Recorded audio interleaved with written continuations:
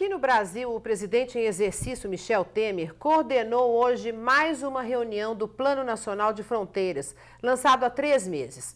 Participam do plano 11 estados e 112 municípios nas regiões de fronteira de 10 países da América do Sul.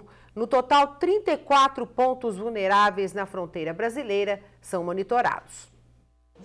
Participaram da reunião os ministros da Justiça, José Eduardo Cardoso, do Meio Ambiente, Isabela Teixeira, da Secretaria de Assuntos Estratégicos, Moreira Franco, e representantes da Polícia Federal, Polícia Rodoviária Federal e da Força Nacional de Segurança.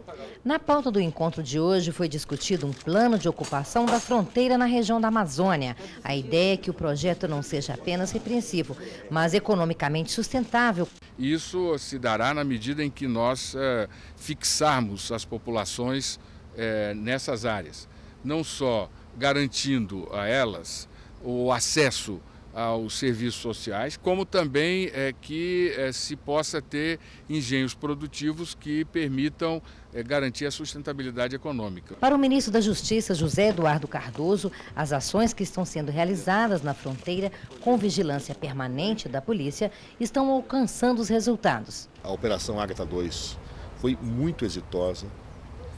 Ela, na sua interligação com a Operação Sentinela, tem tido uma eficácia muito grande. Estamos fechando os números finais, fazendo as quantificações e em breve nós estaremos é, fazendo uma exposição pública do resultado da aplicação dos planos, do plano de fronteira que se iniciou em junho deste ano. O ministro da Justiça informou ainda que está em fase final de elaboração um projeto que dá mais agilidade na destinação dos bens apreendidos durante as operações, como carros, barcos, aviões ou qualquer instrumento utilizado para a prática de crimes.